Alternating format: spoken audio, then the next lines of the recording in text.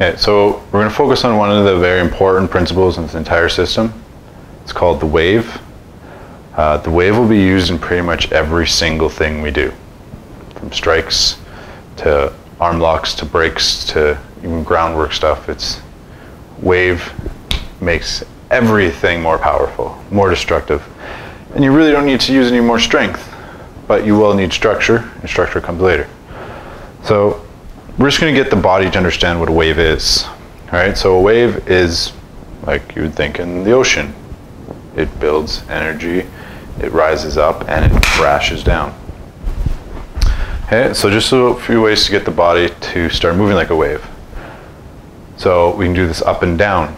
So raise our arms up, and we sink, and we let the arms follow behind, rise up, arms follow. And this beginning of understanding the wave. Right? It's dropping, letting the arms trail behind. All right? So we have the up and down there. And we can go side to side. Just letting those arms follow behind. All right? This might look a little silly. This will not be how we're actually going to use the wave. This is just getting the body used to or understanding the wave. So now I'll do a 45 with the wave. And that body leads and the arms trail. Right? So we can do that 45 with a single arm.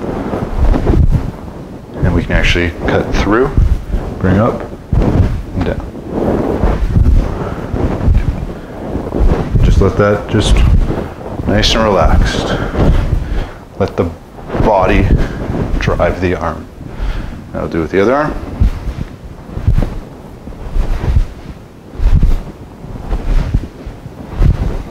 Okay.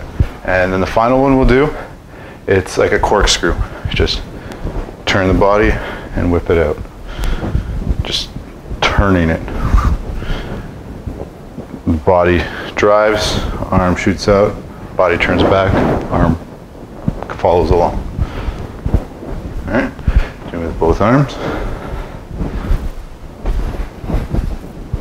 This one's a little bit more complicated and your practice wave becomes a little tighter.